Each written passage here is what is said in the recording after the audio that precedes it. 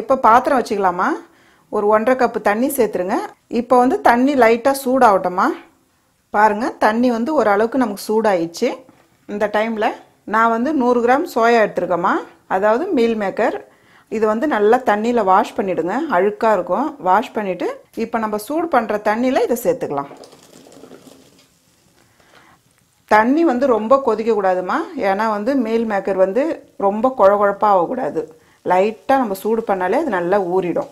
இப்போ stove off பண்ணிவிடுங்க ஒரு அஞ்சு நிமிஷம் நமக்கு தண்ணியிலே நல்லா ஊறட்டும்.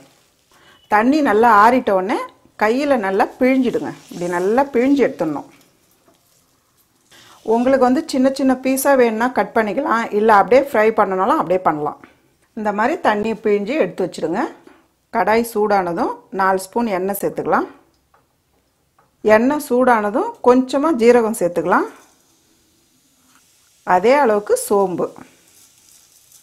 ஒரு ஸ்பூன் கடுகு சேர்த்துக்கலாம்.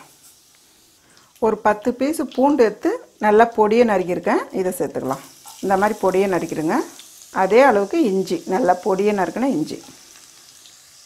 ரெண்டு பச்சை மிளகா பொடியை நறுக்கியிருக்கேன். இதையும் சேர்த்துக்கலாம். இப்போ இதெல்லாம் சேர்த்து நல்லா மிக்ஸ் பண்ணி விடுங்க பாருங்கள் ஓரளவுக்கு நல்லா வதங்கிடுச்சு. இந்த டைமில் வந்து நம்ம ரெண்டு பெரிய வெங்காயம் பொடியை நறுக்கியிருக்கேன். சேர்த்துக்கலாம். வெங்காயம் சேர்த்து ஓரளவுக்கு நல்லா வதக்கிடுங்கம்மா. நல்லா வதங்கணும் வெங்காயம்.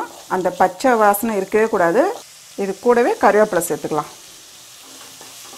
பாருங்கம்மா வெங்காயம் நல்லா வதங்கியிருக்கு பாருங்கள் இந்த டைமில் நம்ம ஒரு தக்காளி பொடியை நறுக்கியிருக்கேன். இதையும் சேர்த்துக்கலாம். இப்போ தக்காளி சேர்த்து நல்லா வதக்கி விட்டுருங்க. அதாவது நல்லா வதக்கணும்னா நல்லா குழைய வதக்கணும்னு அவசியம் இல்லை. ஓரளவுக்கு வதங்கினா போதும் தக்காளி. இப்போ இந்த டைமில் அடுப்பு தீ வந்து குறைச்சிடுங்கம்மா. மசாலா சேர்த்துக்கலாம். மிளகாய் தூள் ஒரு ஸ்பூன் சேர்த்துக்கலாம்.